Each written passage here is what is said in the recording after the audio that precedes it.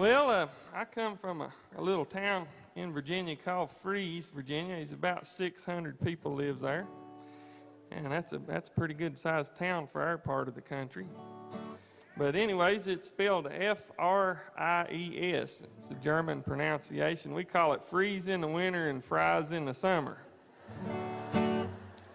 There's quite a few good musicians come from Fries that did a lot of early recording back in the 1920s.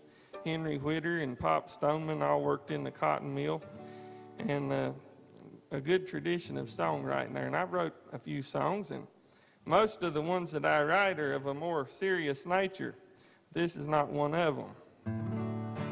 Uh, when I was about 15 years old, uh, I decided I needed some money in the summertime there while I was out of school, and you know they hadn't invented allowance yet at that time, and uh, so I decided I'd go over and get me a job where my mother worked uh, over in Galax, Virginia, in the furniture factory.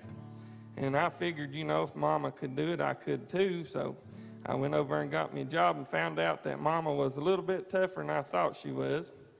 And I wrote this song here called the Furniture Factory Blues. When I was just a young lad, footloose and fancy free, I went down and I went to work in the furniture factory. I got the blues, the furniture factory blues. Well, they put me to gluing blocks, and I said, This is a piece of pie.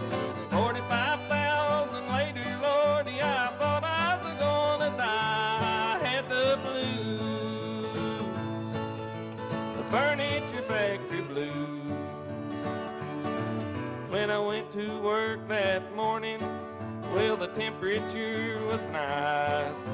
But by that afternoon, oh Lordy, you could boil a pot of rice. I had the blues the furniture factory blues. Play it, Kirk.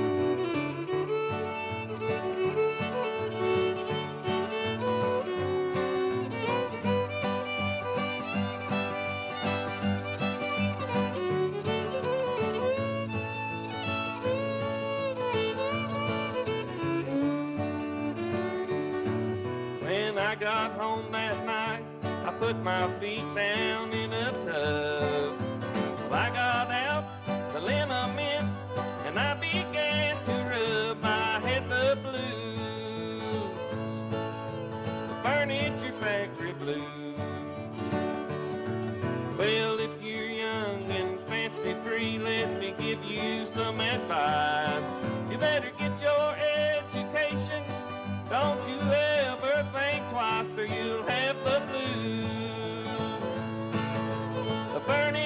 Furniture factory blues.